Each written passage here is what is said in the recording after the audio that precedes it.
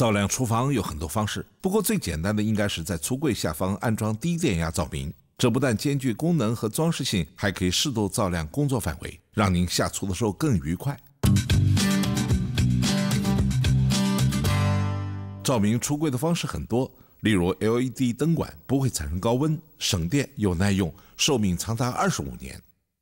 不过提到橱柜照明，大家通常会想到更先进的硬体线路灯具。如果您想安装硬体线路，请准备电工材料和工具。我们要进行的工程中会用到容易安装的圆灯组和调光器。将电源插头插入墙座上，圆灯外形小巧，并可营造台面气氛。我们有许多不同的灯组，您可以选择适合的来安装。在安装之前，请仔细阅读制造商的指示，准备所有需要的工具和材料。Lowes.com/slash Chinese 可以提供很多列印的指示、工具和材料清单。以下是您所需要的工具和材料：橱柜照明灯组。Philips 十字起和标准螺丝起子、电钻和钻头、锤子、铅笔、安全护眼镜，另外可能还需要梯子。如果需要安装看灯，那么还需要准备孔具。首先，工作区必须要清干净，所以请先清除台面所有的杂物。您可能还需要拿出橱柜里的物品，以便配线。接下来，规划灯具的位置。基于安全和热度的原因，制造商要求灯具的间距至少要十二英寸。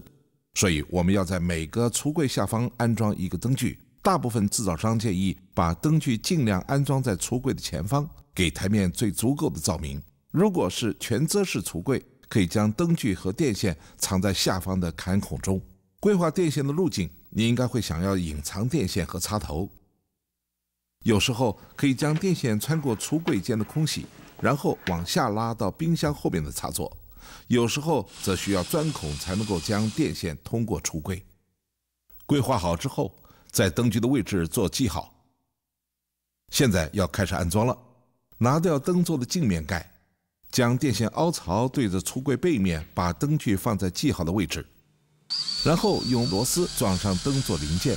如果要在橱柜内部上方等位置安装砍灯，只要用孔具钻出圆洞。